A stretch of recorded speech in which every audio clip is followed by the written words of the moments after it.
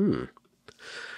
Hello and welcome to Conversations with the Voice of Reason. I'm your host, Benjamin Boyce, and today's conversants are James Lindsay and Logan Lancing, who have together written a book titled The Queering of the American Child How a New School Religion Cult Poisons the Healthy Minds and Bodies of Normal Kids. And in that book, they give an overview of the mechanisms of this thing called queer theory that is responsible or the philosophical grounding for which children are being introduced across America to more and more radical gender identity ideologies. That is also the content of this conversation where we talk about queer theory and its impacts and how these toxic ideas are being promulgated through education and media and entertainment. The Queering of the American Child is a fabulous book. I've read it myself, and it can be found on Amazon right now. Links to which are down there in the description. Also, follow Logan and James on Twitter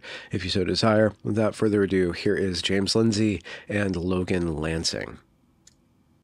What's the content of your connection with this Mr. Lindsay here? Well, I was following him on uh, Twitter. I, I mean, I first learned about you, James, through the grievance studies affair, which I think I've told you, and I thought that was absolutely insane. I was like, I got to follow this guy and Peter and Helen. Um, so I started following him on Twitter and started following the New Discourses podcast.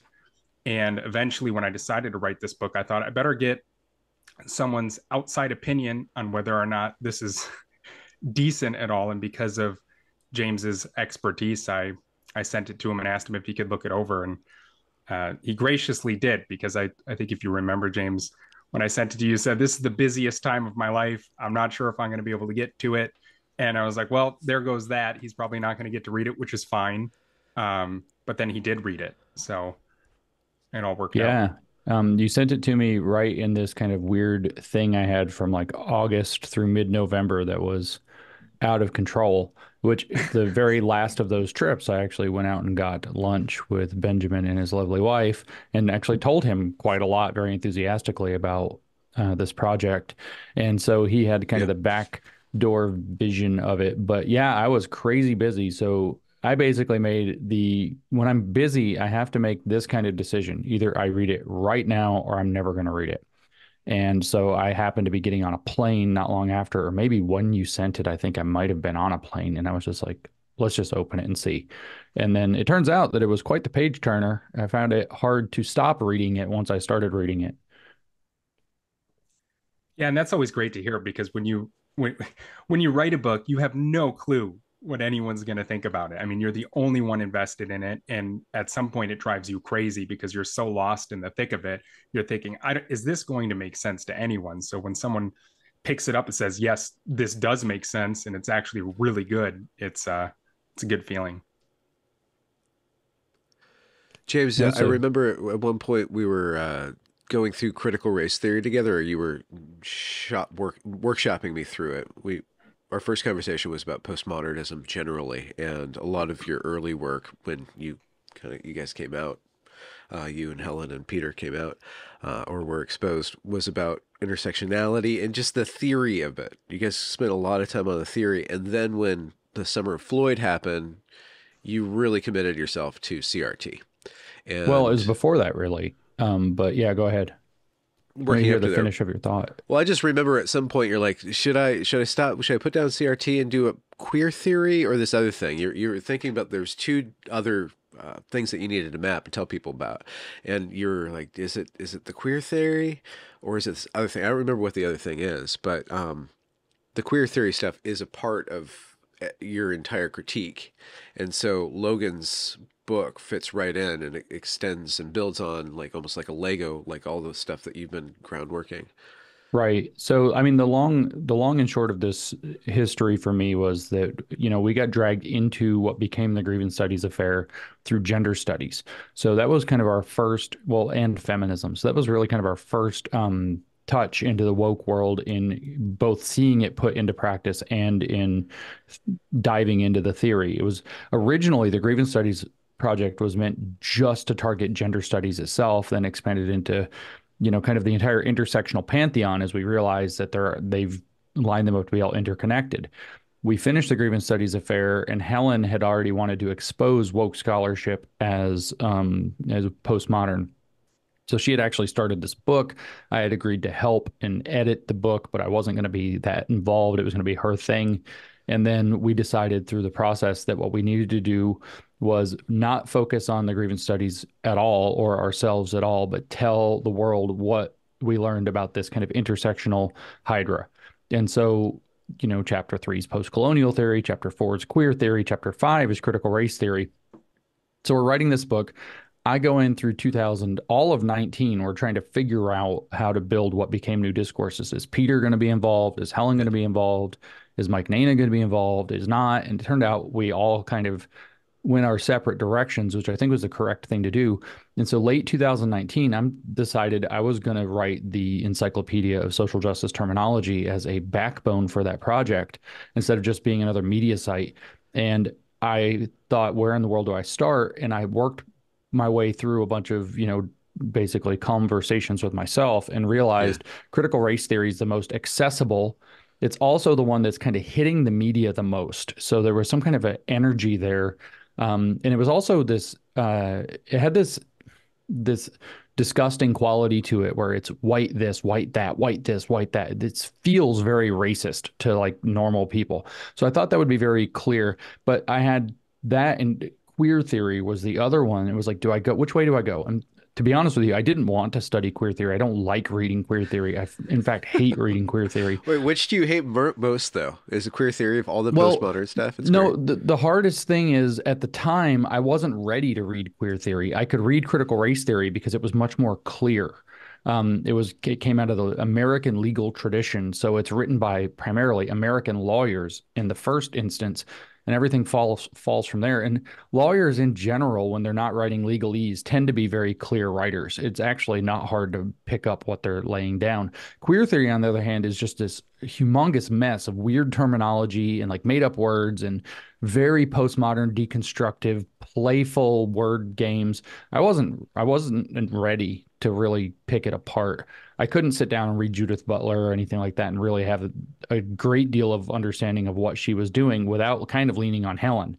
And so I didn't want to go into that. But I also called my business partner at, at New Discourses as my, uh, Mike O'Fallon, and I had a conversation with him about it. I said, I think I should go into CRT, not queer theory, specifically because um, race is big but and as, as, what I said, this was I guess October maybe 2019 is the second they go publicly full blast into queer theory, they shoot themselves in the foot and we win. That was yeah. the way that it's so objectionable. It's going to create such a reaction. And then they started to do that. You know, well, I, I'd been writing CRT for eight months or thereabouts. George Floyd died and then all of a sudden i had built this library of explanation yep. for what in the world the interpretation was and what was happening. So that blew up which was very convenient. I also ended up on rogan immediately which was very convenient and you know the book came out right after that which was very convenient uh, timing for everything. And then finally I got veered off into, you know, I've done more than enough on CRT by the beginning of like 2021 at the at the very latest, maybe before that. I was giving talks, public talks saying, guys, CRT is the lockpick. It's what's behind it when the door is open that's way worse. Queer theory's coming, uh, you know, uh. post-colonial theory's coming. These are much okay. worse. Yeah. And so people just all they wanted to hear was CRT. I got fed up. I did what I thought was the seminar in 21, July of 21, that became race Marxism in writing, but the videos are out there. I, I said at the time, this is the last word I want to say about CRT. And so I finished Race Marxism, published it, and I didn't want to talk about CRT ever again. It's all anybody wanted to hear for like two more years, but I just kept yep. talking about whatever I wanted. I veered into education because I knew that woke fomented in education. The I, the first time I read Paulo Freire properly, I called Helen. Actually, we were still talking regularly, and I said, "This guy's a missing link." It all happened in education. It's the whole thing bubbled out of education, and so I spent. I I, th- I said I was going to do a flyby of education. I got sucked into the gravity of it. It's like trying to do a flyby of like the biggest star in the galaxy. You don't. Uh, it's a black hole. You can't get away from it. And so I I did that. Marxification came out, and I'm, queer theory was blowing up publicly and politically But I felt like I was watching the scientists argue about biology, and it's like nobody they, they don't care about science, guys. It's like this isn't the argument. Yeah. And then finally, I was like talking about it, but mostly just on Twitter, a little bit in the podcast. I did the Groomer Schools podcasts, um, and then Yeah. luckily Logan decided to throw this book in my lap. And what, when I read it on the the plane, uh, the first thing I thought was, "This is the book I would have wrote about it if I had taken the time to write it, but better than I could write it." So um, that Well- was it, it's extremely convenient that it that it comes out that way, that we can explain queer theory in an accessible way. And that I didn't have to sit down because I would have wrote a weird book about this stuff if I sat down and wrote it. Yeah. So, uh, Logan, what James was saying about how confusing it is and postmodern it is and how to wrap your head around it, how can something so messy, so illogical, be something at all to be worried about? Like, why is this mutinous academic uh, garbage so powerful when it hits the schools? And why is it dangerous? Um, that's a great question, and and like James alluded to, it's a it's one you could spend a lot of time talking about, and that's one of the reasons I wrote this book. You know, I'm a parent, and uh, I've always had this nagging question. Starting in probably 2016, I started to notice a lot of this stuff bubbling up just in my personal life, and I've got a college education, and I was like you know, I've seen some of this weird stuff at the universities, but now this is bubbling into people I know their workplaces and it's bubbling into family conversations and people are talking about absolutely insane ideas. Like the, the idea that sex itself is a social construct like the idea that there's a spectrum of sex and it's not just male and female and people can literally become a male or a female if they were born the opposite sex and i was thinking what in the heck is going on I, I wasn't too motivated to look into it any further because, like James said, queer theory is hell. Reading it is absolute torture. Uh, the months and months I had to spend digging through this garbage, almost, it almost ruined me. Um, but I had to do it because I had children, and I was thinking, uh, it, w- when James says it's in education, it is so it's got its hands its grip so thoroughly around education's neck that it's completely directing the education of our children. And i think people don't realize this. It's it sometimes astonishes me that people can look and see that their children's school is is talking to their kids about the fact that their kid has an in- inherent gender identity or that uh, just because they were born a male they might be a female and not think to themselves where does this come from that was the nagging question i had i am now a parent I've got to figure this stuff out because I plan on sending my kids through the educational system. Well, I did at the time. And I've got to wrap my head around this. And I, I think the reason it's so powerful is because the, the people in this cult, it is a cult, uh, have complete what's called Milieu control in society. They have captured, they have taken this ideology and ransacked all of our institutions. And now it's yeah. raining back down on our heads. So when someone goes to ask questions about what sex and gender and sexuality mean anymore. They're hearing it from these captured institutions, which is very powerful because they're looking to experts to explain it to them because the cult is very good at controlling the social milieu and convincing people that they need an expert to explain these things to them. And everywhere they look, it's being reinforced. Uh, so that, I think that's why it's it's so powerful. And how either of you uh so James, you brought up Freire, uh, who was the uh, Marxist educator. He, he, he spoke a lot about um, how to apply this to education, to the youth. So, how did this particular set of ideas, the queer ideas, we can think of it as a cult. You can also think of it as an infection. Like, how does it cling to the people specifically in education, entertainment, and uh, like just media kind of things? The the the matrix building kind of people seem to be inf- are the ones who have been infected by it. Is there something about how it latches onto their minds? Um, I mean, I think there's a lot of ways to answer this, and I'd be interested to see what Logan says about it. But uh, just to add to what Logan said, how has this been so effective? I'll point out that queer theory is not very effective on adults. It's really not. It has like kind of two inroads on adults. One of those is the the the they're playing off of the fear of uh, that, that was inculcated in people largely through the 80s and 90s of the non-inclusive parent, the parent who would disown their gay child. And there's this kind of virtue signaling aspect to parenting where I would never be the kind of parent who would do that. And even that touches into people who don't have children. They don't have any the slightest um, idea of what it's like to raise a kid. They can still uh, pretend to imagine themselves as a parent and they're, oh, I would be so inclusive. So they get really, really desperate to push the the queer theory ideas because they they're virtue signaling that they're the most inclusive potential or actual parents in the world the second way that it makes it into adults is through their children specifically. All of a sudden, somebody in the family, a niece, a nephew, a son, a daughter, something decides they've adopted a queer identity, and now you have to be an ally. You've got to be affirming. You've got to be supportive. You have no idea what to do with this because it's literally outside the realm of reality. You're caught in this weird position, and you see this actually kind of very commonly. The on the other hand, and this is part of why it kind of segues into the question you're asking Queer theory is very, very appealing to children. Lots of bright colors, lots of fantasy, lots of pretend. They don't have a solid formation of identity, and that's what queer theory is doing is it's hijacking identity formation yeah. when it comes into education. And you can you can't mislead a grown man except through some kind of a weird perversion to believe that he can be a woman you can very easily convince a little boy that he can be a girl.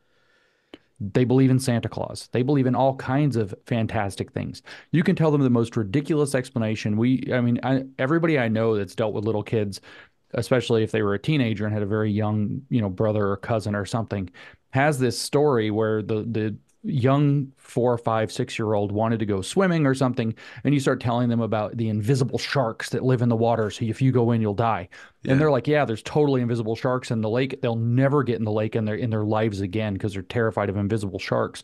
And they'll believe this crap because they're little kids and they they do not have adult brains. They have not gone through the process of identity formation, and so they're part of the reason that it's appealing is there's this intrinsic narcissism of youth.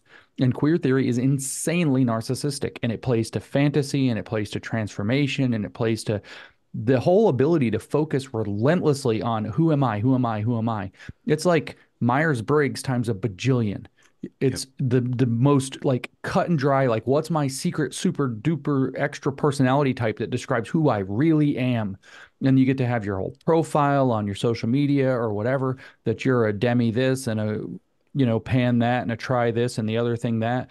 And you're it's literally the same oh i'm a gemini with lunar rising. It's all of this same obsessive search for self that it's hijacking in young people.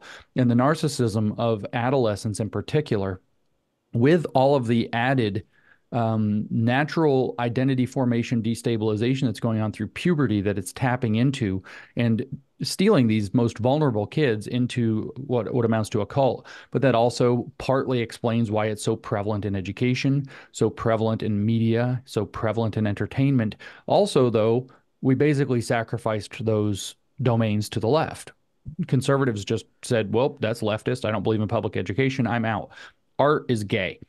The gay people can all have it. Like that was literally like a conservative mindset. Art, that's gay. So guess who filled art? LGBTQ people who were uh, disproportionately filled with activists who had these grievances, some of whom might have had yeah. other agendas. And so you find this pouring into those fields. I don't know if it's something in their their brain, they're more creative, whatever. There is probably some degree of that.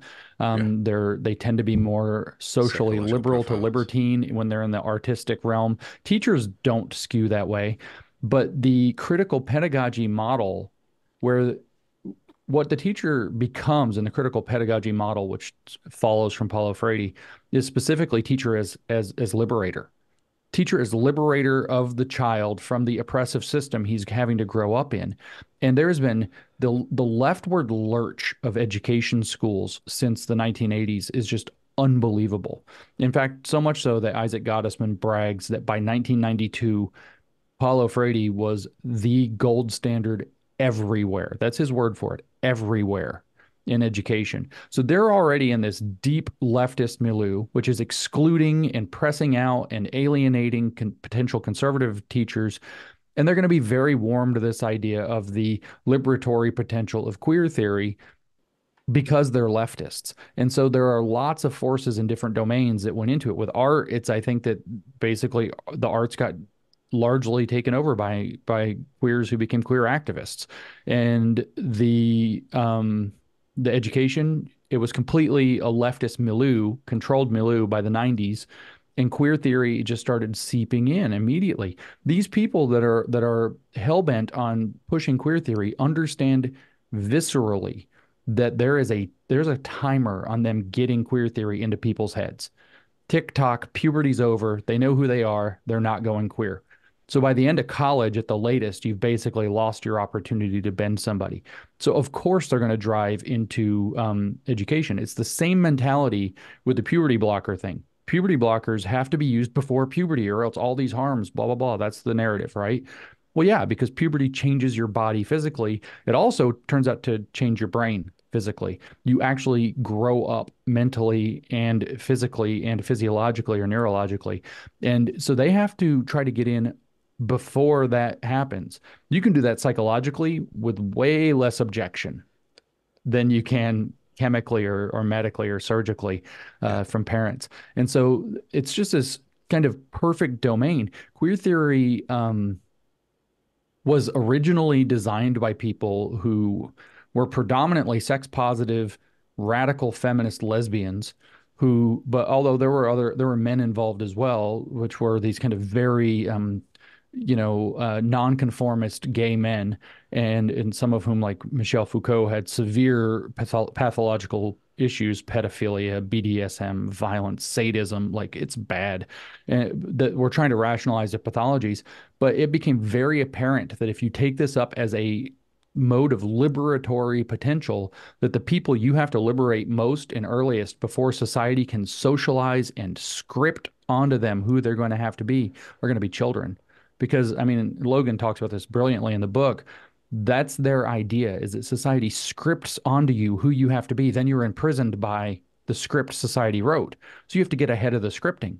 You've got to get in there before they're scripted. Hence, you see stuff like neonatal queer theory now, where they're trying to use uh, literally. I saw a thing on the, the yesterday or the day before where they're using sonograms to determine if your child is queer in the womb.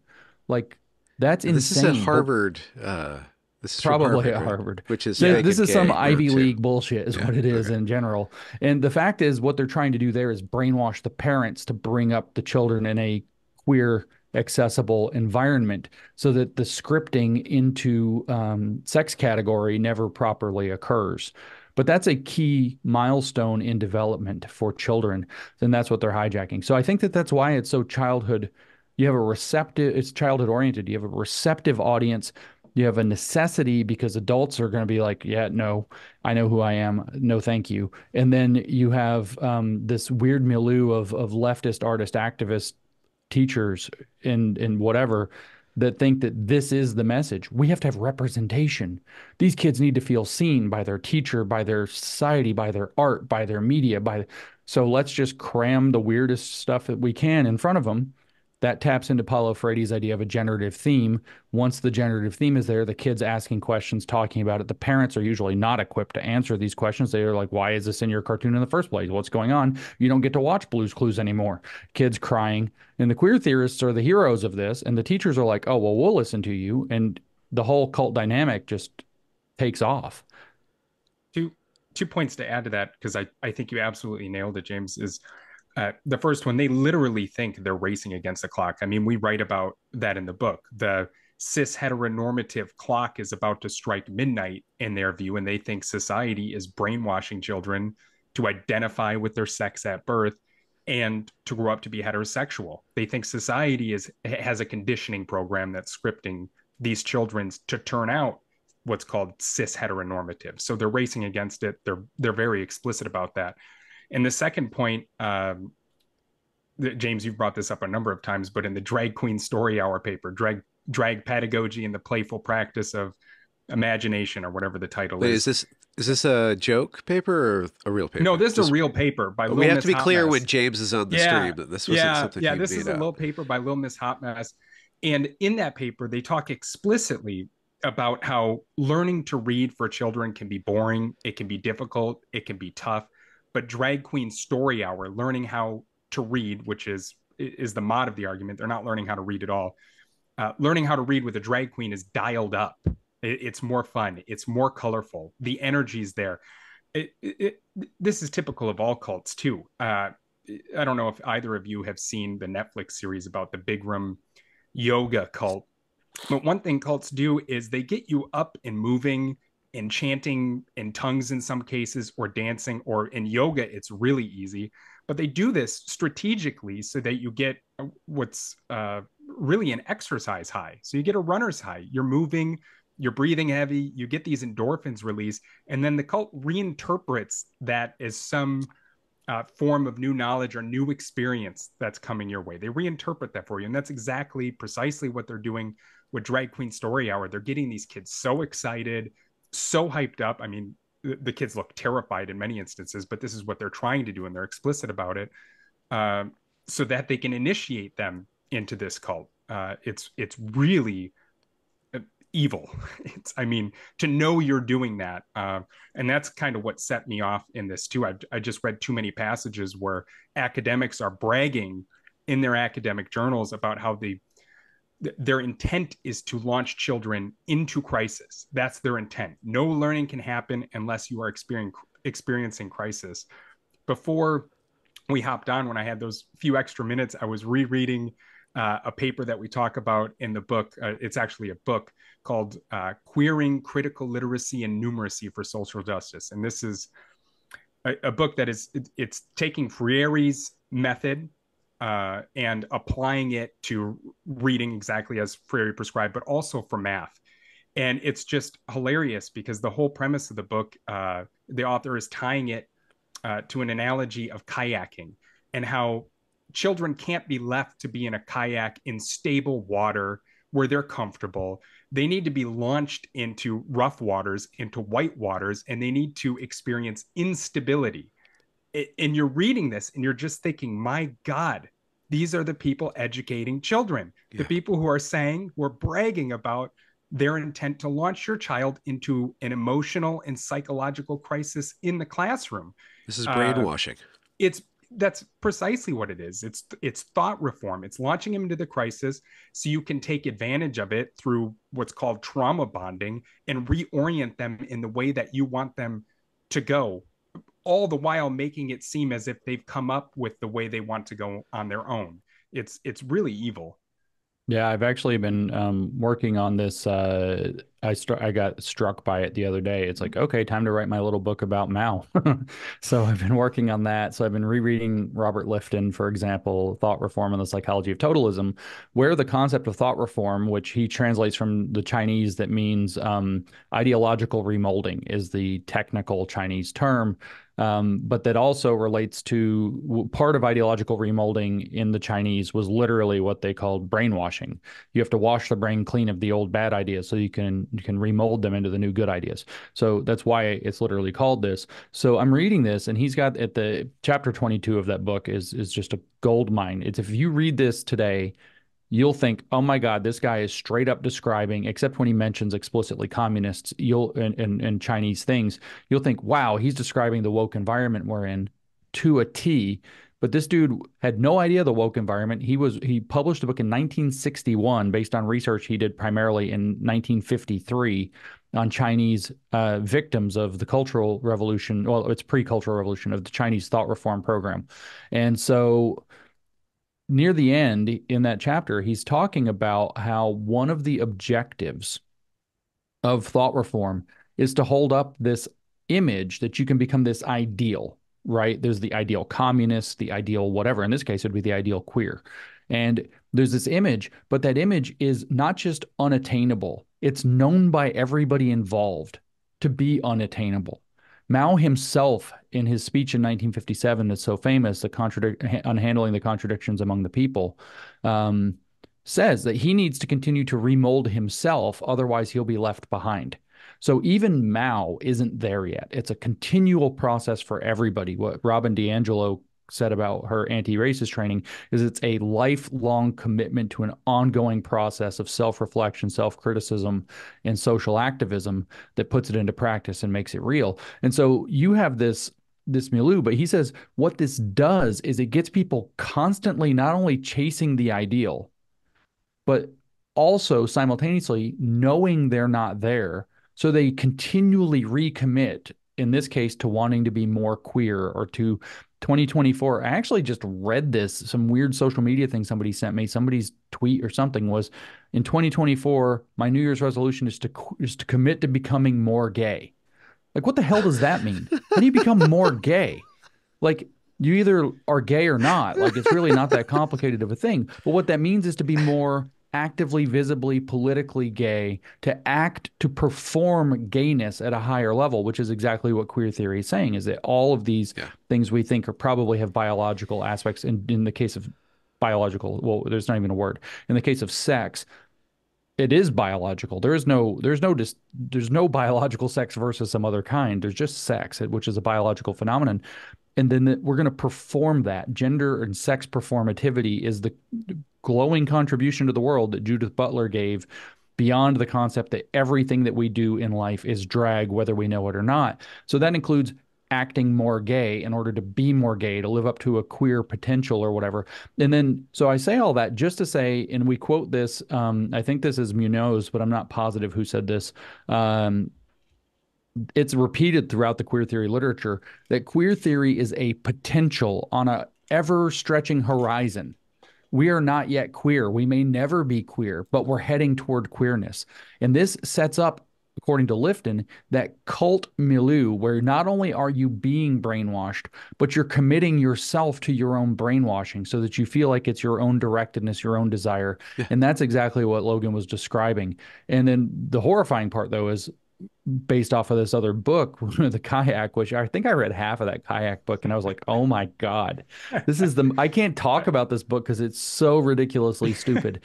And um, the idea though is like well the best way to get kids started on the quest to their queer horizon is to basically throw them in a boat right into a category 5 rapid and like let them figure it out and then tell them that it went badly because of the cis heteronormative society that constructed the rapids in the first place. And don't worry, yeah. we've got you. We know how to navigate the waters. And by the way, it was your idea all along. So, but the point is that I wanted to make is Lifton describes exactly what, what Logan was just talking about as the thought reform milieu, specifically as an, in, an integral component of what characterizes the the ideological remolding that's his that's the actual Chinese for what gets translated as thought reform, the ideological remolding uh, environment.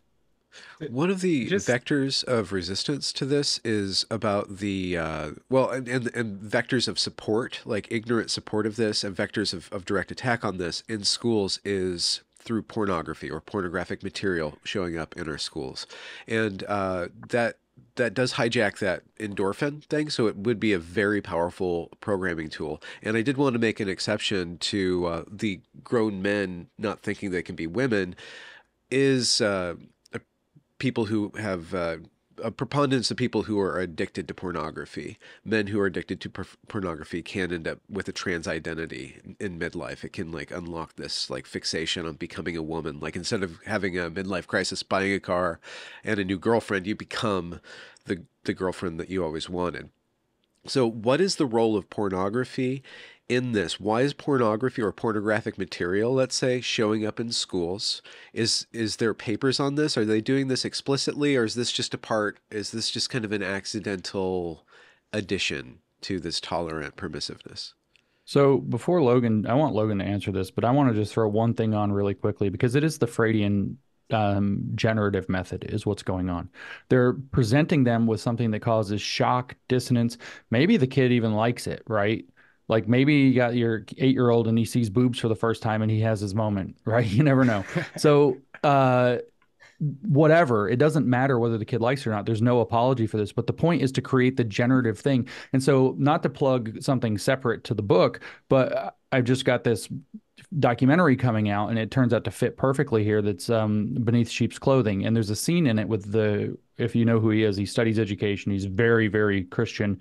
Alex Newman is talking about the surveys, the data collection process. And what's in the surveys is actually generative as well. The surveys that they're subjecting kids to under social emotional learning are contain generative themes and he has it so perfectly like i picture this in my head like a few times a week and just start laughing the way he delivers it so everybody's got to see how he i can't reproduce him but he's talking about how you know they have these surveys this isn't quite pornography but it's very very similar where it'll say you know the, he says these are for kids roughly age 10 to 12 um, at least in the research that he's presenting at that point and it'll ask questions like how many sex partners have you had right and so the the choices will be zero one or like one to three or whatever. But then the last one, maybe there's five different categories. I don't know, is 20 plus. And he says what this does as a, he doesn't use the term generative, but in, in the Freudian model, what this does as a generative theme is it plants the idea in the kid's head. Maybe that's normal. So the pornography, maybe that's normal. You're 12 or 10. You don't know, you don't have any basis for knowing what's normal. You're very probably private and weird. Your parents have probably not explored sex and sexuality with you at length at nine years old or 10 years old. So the way that Alex Newman delivers it, he was like, so 20 plus ex partners. And he immediately goes, well, what do you mean? They're 10. And so now you have 10 year olds wondering, maybe it's normal that I had 20 plus sex partners by the time I'm 10 years old. And I think that the pornography is largely um, connected to this. It's shocking. It kids, as you can see their faces with the drag queens, they know something's often they know something's wrong, they know something's off. They are going to have to ask questions about it, but they also know it's shameful and they shouldn't ask their parents. Um, I remember watching like uh, Married with Children with my dad as a kid. It was like one of our things. And, you know, there's always the hot chicks acting kind of skanky on there or whatever is like a running theme. And I remember being so embarrassed when those scenes would come on. Like I couldn't even like look at my dad. I had to pretend like I didn't want my dad to notice that I noticed that there were hot chicks in tiny dresses on the screen, like acting, you know, luridly and like it was so weird but that was the person I, the last person on earth i wanted to talk about with it was my dad who was like right there so I think that the introduction of this material creates that generative opportunity to start having those conversations with a trusted adult who's not your parent because your parent has that you know constant kind of right and wrong judgmental vibe and is supposed to and therefore you know this other trusted adult might not. So i think that the vector of attack here is literally to shock into the generative theme to cause the cognitive and emotional stress to approach somebody with an age inappropriate thing that they kind of know is wrong and inappropriate, maybe dirty, whatever words they use for it, and that they then have to resolve that stress yet again in the in conjunction with somebody who can lead them the, to the to the correct interpretation of the crisis that they've been put into. Which, if I remember right, um, from the and it's been a minute since I've looked at it. If the, the, is that part in the book by Kevin Kumashiro, um, yeah. the Identity Crisis guys by this guy Kevin Kumashiro, a queer educator. And what he says is that the point of the facilitator or the educator is to make sure that the children, once pushed into this crisis, can resolve the crisis productively. And it's like productively according to whom, Kevin? Like, what are you doing? Those are kids. Um, so I think that that's actually the primary purpose of this, uh, to be honest with you. But um, by all means, Logan. Yeah, just a couple of points. I completely agree. Um, you asked, is this happening by mistake? It certainly is not. Uh, everything that queer activists do is intentional and there's purpose behind it. Um, the the porn in schools is not a mistake. It really stems from the idea because mo- most people look at this uh, and if they know anything about this, they think, "My God, you can't have pornographic materials in front of eight year olds, ten year olds, twelve year olds. It's completely developmentally inappropriate to present those materials to young children who might not even have any clue what what sex is at all. Um, they're just not there, and they do this intentionally because they are they're quite literally, explicitly trying to break the idea of childhood innocence. The one thing that protects uh, children from porn in schools is the idea that there's a normal developmental track for children. It's it you can't have that in there. Children are susceptible to all all sorts of uh, manipulations when when that sort of thing is introduced to them. Uh, and you you can't do it. So what queer theory does is it targets the idea of childhood innocence. That's the thing we come through and say you can't put porn in schools. Children are innocent; they're not ready to handle that sort of thing. Uh, that those are discussions, sexual discussions to be had with their parents, uh, the sole up determiners of their upbringing, can decide what's appropriate for that child. Uh, so queer theory targets childhood innocence by bombarding innocent children with things uh, that break their innocence so they can be remolded in a different way. Queer hmm. theory literally thinks that the idea of an innocent child is a social construct. It's something that the cis heteronormative society uses and constructs to protect children from seeing things like porn, things that might introduce them to a different queer way of life that they could explore. So the the porn yeah. the those books in school are very intentional. Yeah. Yeah, and, and they use a leverage on that by saying with the childhood innocence, which they're deliberately attacking, exactly like Logan said. There's another point of leverage they use with that, which is to say, well, not it's not fair. Not every kid. Some kids get molested.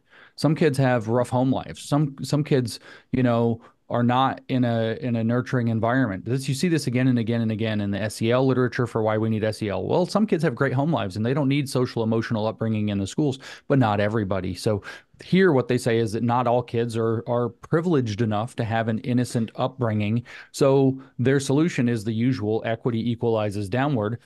If everybody can't have an innocent upbringing, nobody gets an innocent upbringing. We're going to go yeah. de-innocentize or we're going to go the word for de-innocentizing in their literature is initiate literally in case you oh. wondered if it's a cult we're going to initiate them into these themes these ideas this uh, other way of considering life and i think that like logan said it's extremely intentional and they have all of these myriad justifications for why they're doing it but the ultimate objective is this destruction of innocence into initiation so that they can uh, take so what is what is childhood innocence about? This is what they want to take apart. Childhood innocence is in a sense we could i don't think it's a mythology but we could construe it as a broad social mythology sort of like they do that is designed to keep children within developmentally appropriate boundaries and they want the children taken out of developmentally appropriate boundaries to the point where they write entire academic papers suggesting that childhood development psychology itself needs to be queered because it, it's it in turn is reinforcing cis heteronormativity and therefore needs to be uh, undone. It's not taking queer perspectives into account, blah, blah, blah, the whole usual leverage points. And so they want, I don't think the innocence for children is a mythology. I think it's based in reality, and that reality is that to be to develop in a healthy way, there are boundaries around adult themes and adult topics that they are not ready to um, conceptualize, and particularly they're not ready to emotionally engage with. Um, the the seat Without of many help. of the personality yeah. disorders is that adult emotional and other types of interaction are introduced to a child too early who isn't emotionally capable. They haven't developed far enough to be able to do it. So childhood innocence is this this concept based on the reality that children need to be kept within a bit of a bubble to mature emotionally and psychologically to the point where they are actually able to start metabolizing uh, adult themes and adult content, which includes sex and sexuality, probably um, above and beyond anything. What's really funny now, though, that we mentioned it just a real quick aside. When I was in sixth grade, I had to take my first sex ed class. It never struck me so we had this horrifying nurse. We all joked at the time, like we were all laughing that they gave us this really ugly nurse who came in and the first thing she said is, I love sex. And all the boys were like, ew, oh my God, no. It's like, it's not like some, it's not like the nurse on the cover of the Blink 182 album or whatever it was. It's like yuck nurse saying she loves sex. But one of the activities we had to do was we all had to go out and they said, How many sex partners have you had? We're going to do a survey. And the way that we did it was that we went out in the hall and there was a box full of beads of different colors. And if the answer was zero, we put a blue bead. And if the answer was one, we put a green bead. If the answer was like two to five, we put a yellow bead and on up. And then I forget what the highest number was, but that was like the black bead or the purple bead or something really, you know, intense color, like on the on the weather map. And uh then they reported they didn't tell what anybody's beads were, but then they reported the um results. And of course, and if this was manipulative, I don't know. But of course, some little shit sixth graders are little trolls and grabbed the black bead and threw them in there anyway. So there's like we're like 12 or 11, 11 I think. And then the the chart comes back and it's like almost all blue, maybe a green, a little bit in between. And then there's like this repository of like purple or black or both where it's like, you know, not ever, not a ton of them, but like 12, 14 out of the not out of the pile of like 300 kids or 200 kids that were across the whole grade. And um we were all like, whoa, you know, thinking some of the kids in our grade were going and just like getting it done every which way. and take that and make whether that was deliberate or not, I don't know, but take that and make that extraordinarily intentional to break the image of childhood innocence to make some of the kids feel like, man, I'm like must be nerdy, I must be behind.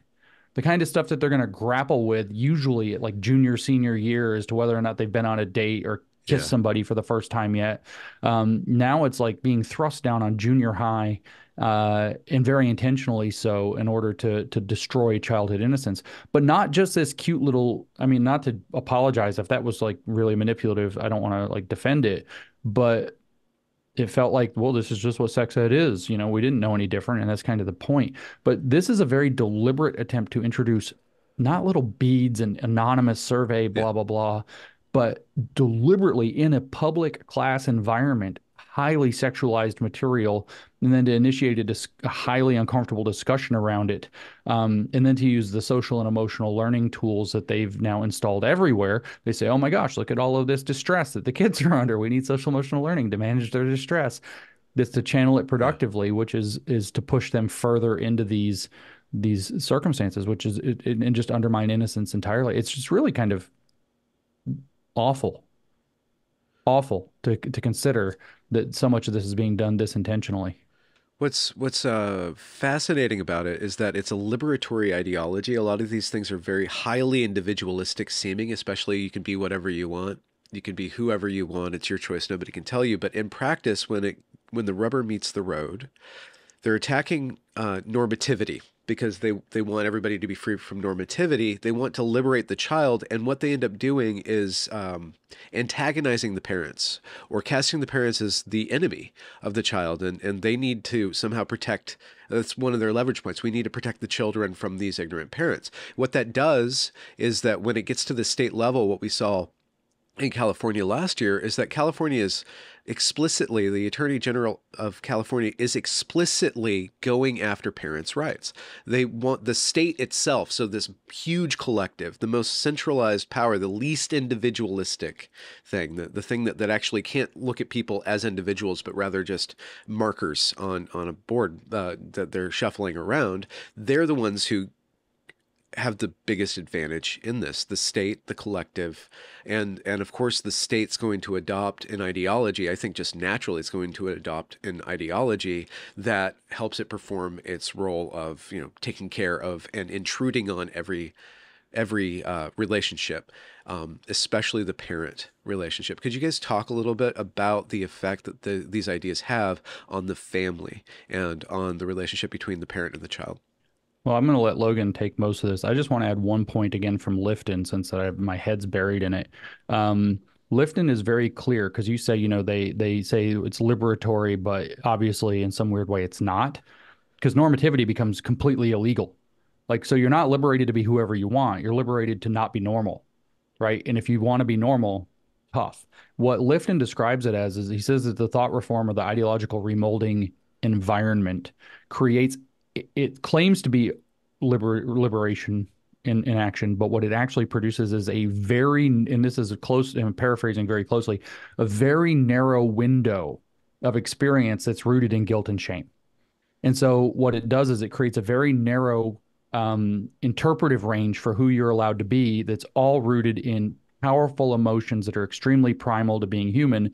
is a long, surprisingly long discussion of how innate guilt and shame are to every human and how these get manipulated. And so when you say that, you know, you're liberated eh, eh, people should know what that means. What you're being liberated from is normativity. What that means is normativity is bad, so you can't go back to normativity. And it's not just the people who become queer who are becoming traitors to go back to it. Nobody's allowed to be in the realm of normativity because that would reinscribe normativity and of course because it's actually legitimately normal what that it's going to be a very desirable state. That's like the ground state. People are actually going to want to be normal predominantly. And so that becomes taboo.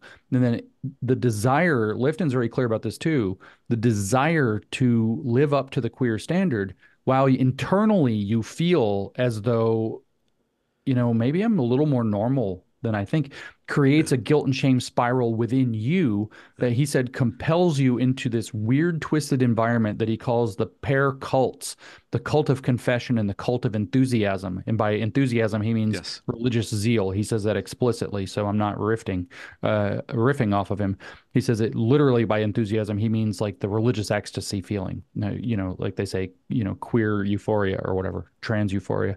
So the idea is you're constantly guilty and shame filled because you're not allowed to want to live more normally than you are. And so what you do is you enter into a weird system of confession for all of your cis normative crimes, push yourself further along and feel utterly shame ridden that you have those feelings in the first place, which you then project outward onto enemies uh, and punish them in advance. And it becomes a very toxic stew. But he says that's utterly characteristic of the thought reform milieu. Um, so just to pointing that out, and I'll let Logan talk about the family aspect because um, it's personally closer to him, I think, with young kids. Yeah. The um, I mean, what you were just talking about, James, the symbolic surrender, confessing, so that you're you can remove your individualism and you know just kind of float into the masses, into the collective, and fit in. It it's really bad. I want to uh, speak specifically to the point you made, uh, Benjamin, about attacking parental rights. Like people need to understand how much queer activists think about subverting parental rights. They write paper after paper, page after page, thousands of pages across books and dissertations about attacking parental rights. And one of the ones uh, papers we include in the book is called Navigating Parental Resistance. And in this paper, a couple of teachers talk specifically, uh, they brag about it, about how they're fooling parents into thinking what they're doing in their classroom is not happening. One of the things they uh, they speak to is well, cons- parents come to us concerned that we're going to be talking about LGBTQ plus issues in class, which of course they're not. They're not going to be talking about happening to be gay or happening to be lesbian in class. Uh, that's not what they're doing. They're they're using queer pedagogy to initiate children into the cult.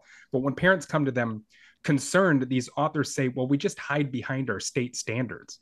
We just talk about well we've got an an ESL standard we've got to follow. And this just happens to be the issue we're talking about to get to the ESL. Look at this assignment we gave them. It's about vocabulary. And they brag about the fact that parents read this and they think to themselves, well, this is patable. Uh, I'm kind of against the things they're talking about, but I can get through it because look how much they're focusing on reading. When, of course, that isn't the goal at all. They're they're learning how to read queerly, not learning how to read it as you or I would understand it.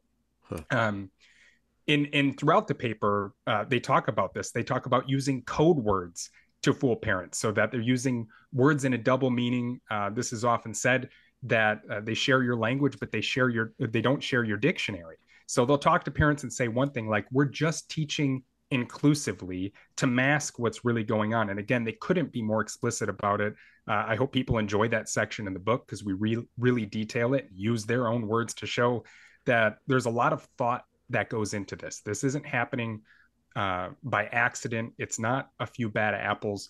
Teachers across the country are learning in their education schools to do this. There's technical terms for the things they're doing to subvert parental rights. And where does it where does this lead then?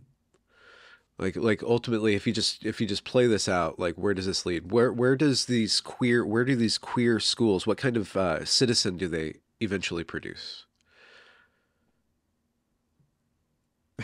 You want to jump on that one? I mean Lifton's not optimistic about where it, what it creates. Um, let me actually see if I can quickly pull up what his exact phrase is, where he summarizes the effect of ideological totalism. It turns out I was actually on that page from where I left off reading it last night. Um, he said, in combination, this creates an atmosphere where uh, which may temporarily temporarily energize or exhilarate. In other words, there's your queer euphoria, right? But which at the same time poses the gravest of human threats. Like he doesn't mince words about how actually bad this is.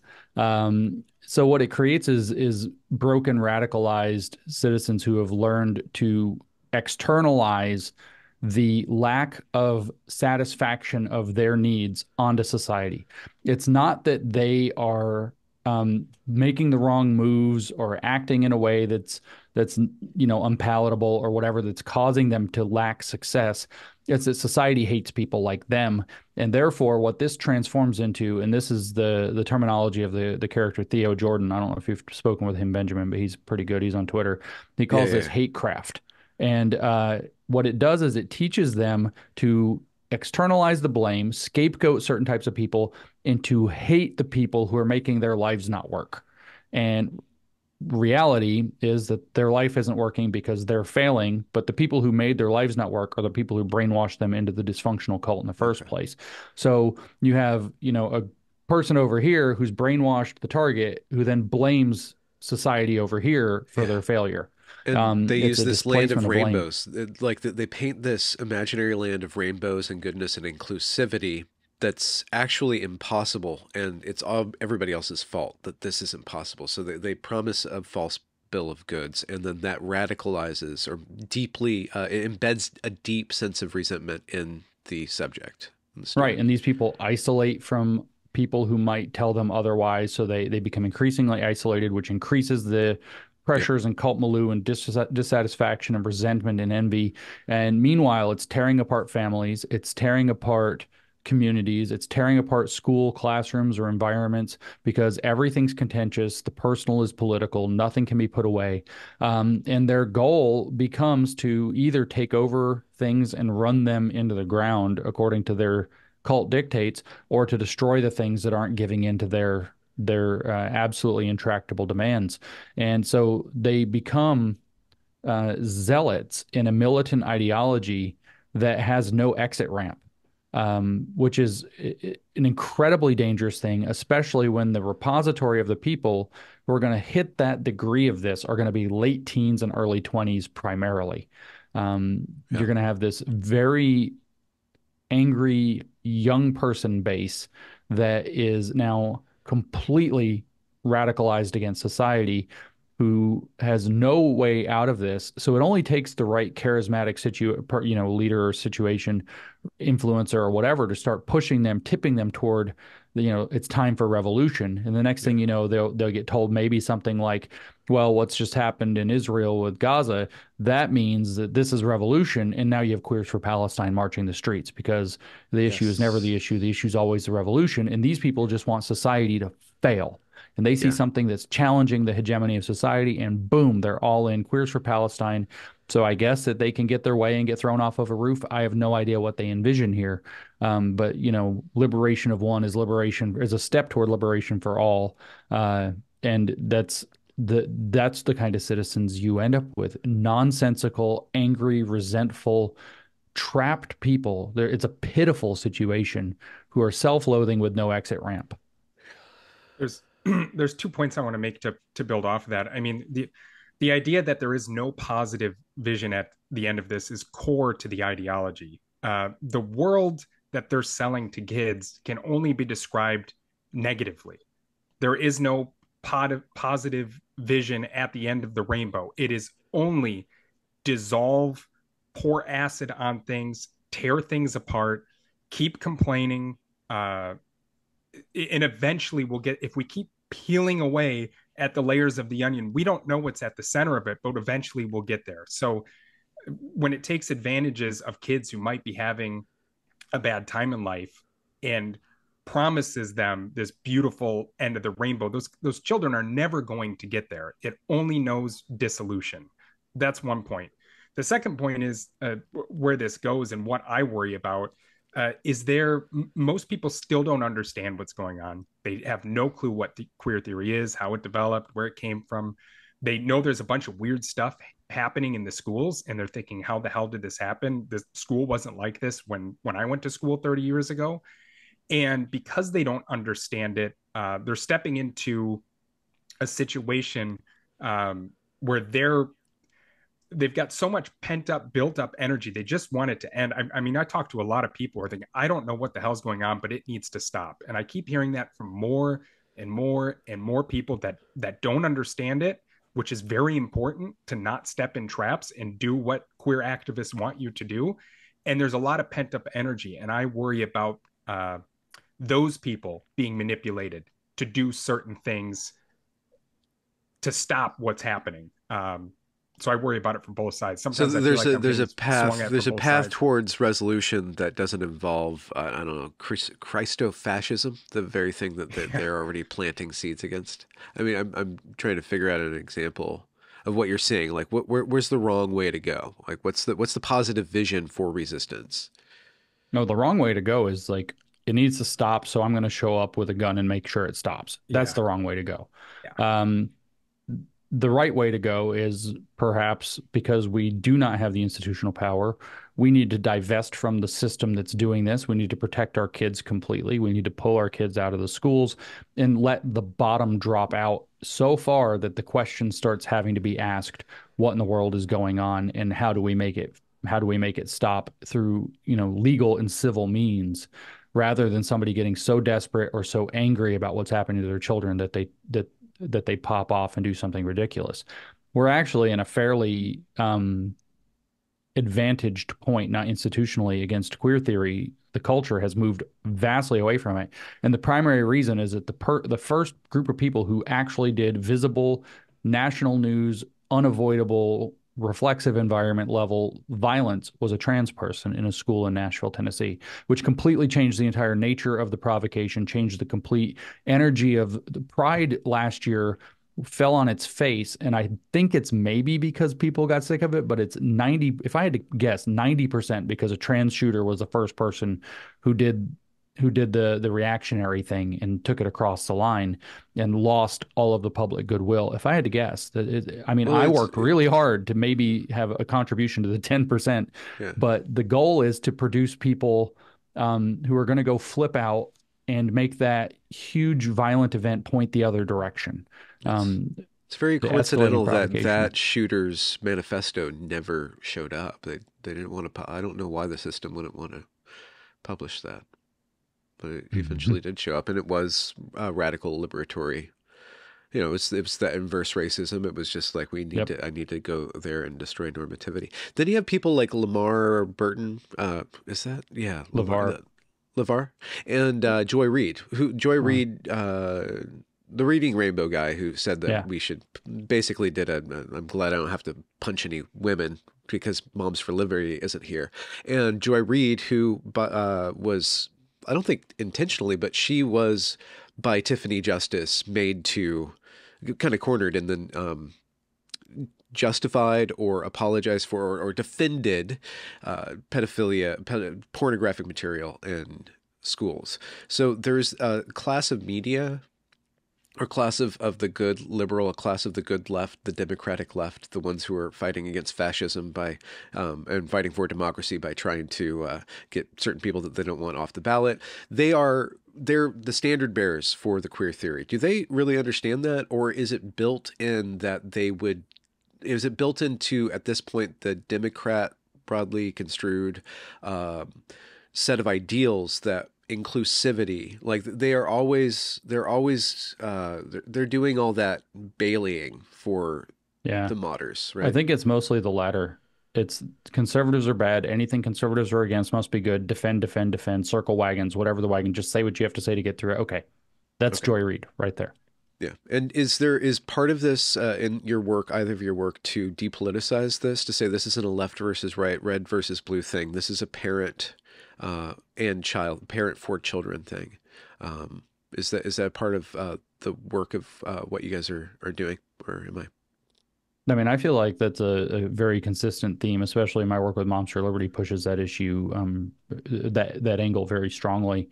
Um, it's certainly impossible to re- read this book and not come away thinking that that's where our head is. Like this is just normal. Uh, the book is framed out as that we're going to allow normal kids to have normal lives. Uh, and so it's just normalcy. It, it's, it's like an unapologetic uh, defense of normal. uh, really. And normal normal has nothing to do with what side of a political divide you're on, especially at the party level. Okay. Yeah, and I Look, have, um, you know, in my social circles, it, it, there's a lot of people who, with advanced degrees, it doesn't matter the, their level of education, are completely mystified. Who they hear things like diversity, equity, and inclusion, and they think those things must be good. I mean, they're thought terminating cliches. You hear them, and it's like, well, who could possibly be against that? And so I approached the book and my work by saying, listen, eh, a lot of the things you've been taught um, about what these words mean and these concept means are are being weaponized against you. They don't mean these things, and here are dozens and dozens and dozens of examples from the literature of people saying, "Hey, this is not what we mean when we use the term inclusion." Uh, so th- this really is a book for everyone. Uh, it doesn't matter what your politics are. If you want to live in a stable, normal world and you want some normalcy to return to your life, and you want your children to grow up in a world where they can just be normal, healthy kids, whatever that means for them, um, I think it's it's a great read. Yeah. And uh, how do you how do you wrap it up? Are there action uh, items on there, or um, like a path to understanding? Once people, let's just assume that people get a really good grasp of queer theory, how it's operating in schools. Like, what what are they to do with that information? Uh, ideally, everyone would be set up to homeschool homeschool their children uh, to James's point until the bottom drops out and people start behaving normally. Um, but I, I, I completely understand that's that's not something every parent can do, and for whatever reason, if you can't homeschool because there's millions of people doing it now, you can get uh, so many of them are generous and will completely walk you through what that looks like, what that means, talk to you about how they arrange their finances, how they're handling it. But if you can't do that at bare minimum, you have to develop an ironclad relationship with your children. You have to talk to them. You have to know what's going on in their life. You have to talk to them about school. And on top of that, you need to understand eh, you don't have to go and read like uh, James does or I do all of this literature. But at a bare minimum, you have to understand something is going very wrong. Your children are being psychologically abused or someone's attempting to do it and you need to protect them and inoculate from that them from that. Talk to them about what might happen in school and how they might handle that or what has happened and how they handled it. Uh, it's possible. I know in that that book i'm going to bring it up again queering literacy and numeracy for social justice. I laughed for about an hour straight because the author is just wailing about the fact that a fifth grade boy and a sixth grade boy are not doing the assignment that she assigned. The assignment was it, it, remember this is a this is for a math class. The the students are assigned one of several articles that they need to go and read about some social injustice uh, against some group of people and come back and make a math problem out of that. But she says herself the, the goal of the assignment is not math at all it's it's learning how to handle social injustice and be an activist but these kids won't do it they're just researching turtles on the computer like i don't know if their parents talk to them or if the kids are just smart but she goes page after page after page and then there's a little break and six page later six pages later she comes back to it and she said these kids won't stop researching turtles and snakes they're supposed to be researching social justice topics so they can make their math question and they just refuse. And when I was reading that, I was just laughing uh. so hard. That's who you want your kid to be to say, to hell with this. I'm going to write my essay about turtles or snakes.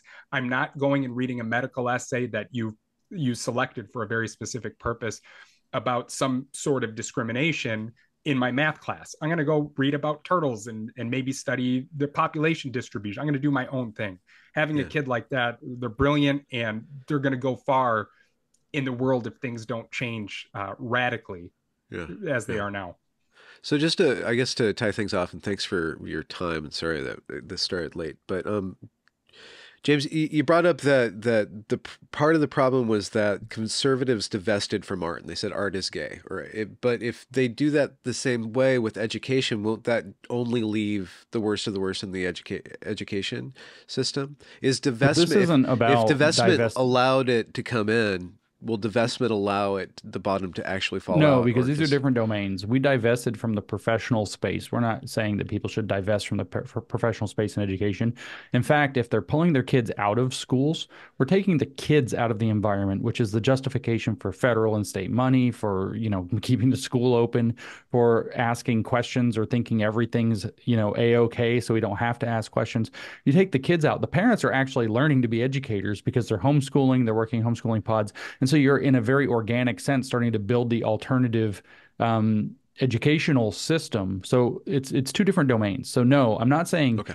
you know what? That's it. Abandon education. Conservatives don't become teachers. I'm saying no get the kids out of the schools to bottom out the way that the system is organized from a kind of a financial and structural situation to force there to be uh, open dialogue about the problems in the schools, this restorative justice, and so on.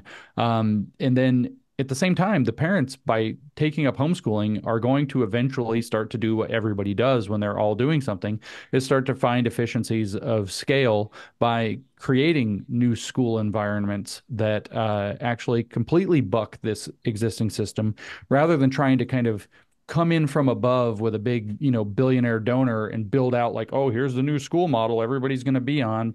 You know, by the way, whether it's on a huge grant from Walmart, uh, you know, we're we're now actually building out the alternative education situation to where where are the teachers supposed to come from? Well, if you've got people that have all this homeschooling and small pod schooling and collective uh, schooling in neighborhood schools, whatever they're called, environment, and you deregulate well, you know, maybe our teachers having college degrees was part of the problem. So let's open up teacher certification uh, to a broader pool.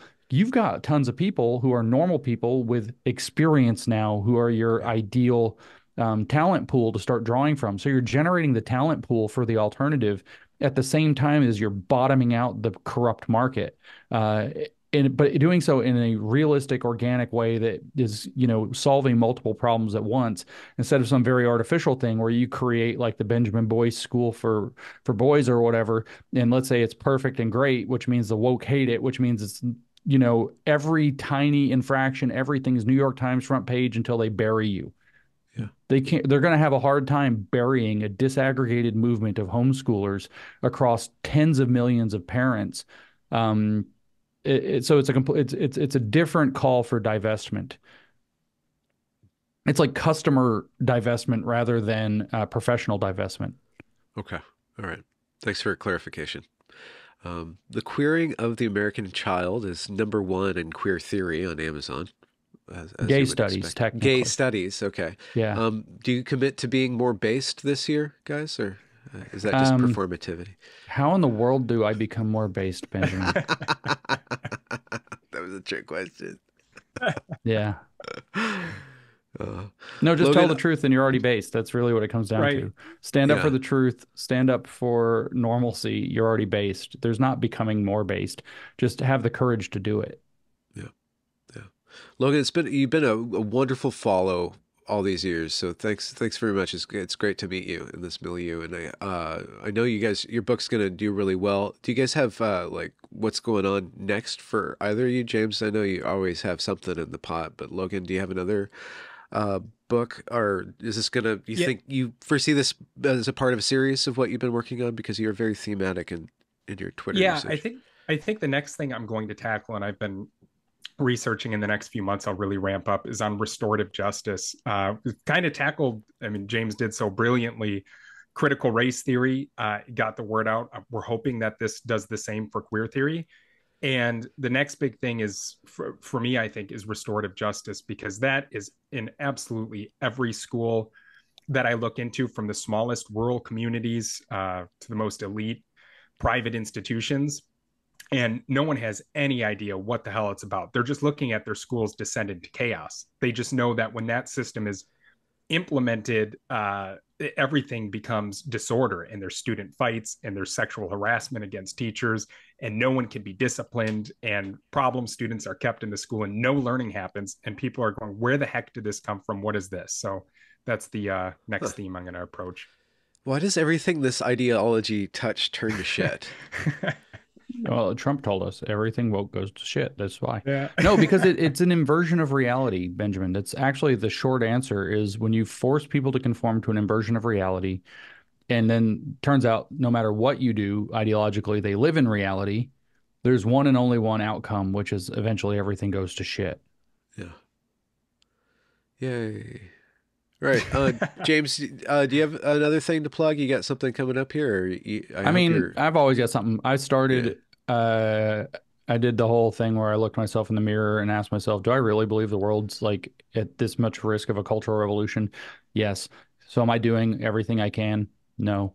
And so, time to fight less on social media and get buckled down. I've got this book I've kind of had floating around. It started to coalesce that I wanted to write about Mao. I kind of finally figured out the way I wanted to go at it. Had a little writer's block, false start. Then writer's block broke, damn broke, wrote 50,000 words this week. So um, we're way off to the races um, wow. in terms of this. Yeah, and so be careful. It turns out carpals, dude. You're gonna get yeah. Well, some of them are actually my wrist is a little bit sore from the weird angle, like using my laptop. But um, the uh, the book is actually blowing me away. I'm stressing myself out with how tight it fits. And then I got like through all of the kind of stuff I thought I wanted to say, and then I wanted to deal with the education part and I didn't know what I'd do with it. And then at the end, I have some stuff I want to get to um, about how uh, how the model is going to lead, where it's going to lead in the future. But I started doing the education thing, and it's like I had a chapter set aside for education, and now it's three chapters because it's like there's no way to summarize the relevance and importance and depth of what's going wrong in education. And the fact that you can actually, with very shockingly little effort, draw straight lines back to the programs that Mao Zedong implemented, especially in the 1950s and 1960s, yeah. uh, in his society, in schools, and workplaces, and prisons. Is uh, that uh, organic? You think it just kind of fits into the woke doctrines and stuff? It's, that the Maoist well, what I've what I the case I try to make is that. Um, the people who architected the critical theory system that has implemented throughout the West, critical pedagogy in particular with Paulo Freire, but also the Marcuseans and so on, were explicitly Maoists. They were people who studied what Mao did, said, wow, that worked. Let's do it here. And um, it's not actually that hard to make the historical case. I don't actually mention this anywhere in this book so far because I haven't found the hard confirmation of it, but I've heard it from a number of people, including some of the researchers at Heritage Foundation, that, for example, the joke. So Kimberlé Crenshaw with, uh, you know, CRT they wrote this anthology called Critical Race Theory: The Key Writings That Formed the Movement. You know, in in the '90s or some early 2000s, a long time ago. It's this gigantic book, and it turns out it's red. What a big surprise! And they, amongst themselves, the contributors refer to it as the Big Red Book because they're paying homage to Mao because they're actually Maoists. But what you can actually find with like intersectionality, it's it's actually not hard to prove like definitively that the members of the Combahee River Collective saw themselves as Maoist instigators, that their philosophy intrinsically was Maoist. It's not hard to go back and show that in the 1960s, the radicals that were in the Marxist vein that supported Herbert Marcuse, their chant was Marx, Mao, Marcuse. Mao was yeah. their guy. It's not hard to see that the liberationist theme like Mao named his army the People's Liberation Army for a reason. It's the same concept, the same methodology. The liberationist movements actually followed Mao's lead yeah. in terms of how to implement a insurgency with mostly peasants and then students, which were his two primary uh, radical bases.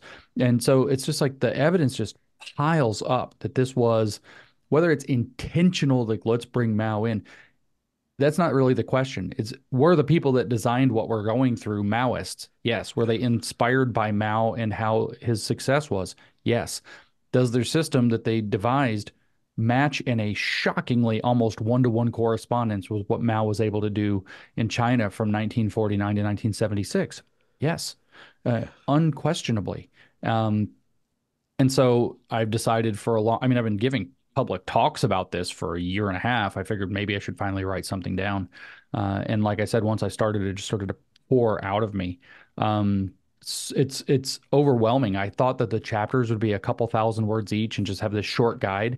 And like the shortest one so far is like eight thousand five hundred, and I'm like, I really didn't cover it. Like I'm scared when I go through and edit this thing because it's going to get longer because I'm going to think of more evidence yeah. and more things to add. Especially drawing off of Lifton, which now I've reread almost the entirety of Lifton again, and it's like, oh my god, gotta include that, gotta include that, gotta include. It's going to be a million words. And I know, so, uh, like at Portland State University, uh, and this is just kind of like a coincidence that I've noticed, but at Portland State University, there's an entire floor of one of their buildings that's all Chinese studies, and nobody kind of knows what goes on in there. I know you have to know that China has spent a lot of money um, boosting up the ideas that that align with it, and and I'm I don't know if there's like a direct well, correlation. That's a, com- a conversation about the Asia Society and the Chan family that we should probably not have too publicly yet. Okay, there we go. but yeah. yes, well, thank you both. I'm going to end the recording. Uh, you guys are wonderful. Great to meet you, Logan. James, thanks for your time. Um, and uh, your guys' book will be linked in the description. It is an excellent read, and uh, it's going to be very useful, especially to parents who, who need a little uh, to to understand it, who want to, who want a little bit more uh, uh, legs to stand on when they want to put their foot down, and because it is a very chaotic sea that's being created in, in schools intentionally from from what you guys have said to us today.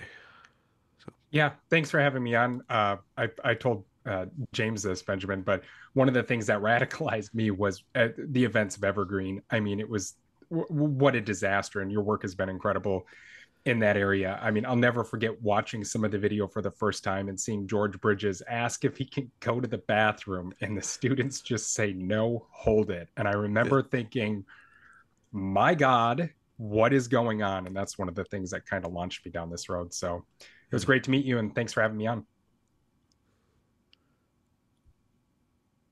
All right. All right. Good good good good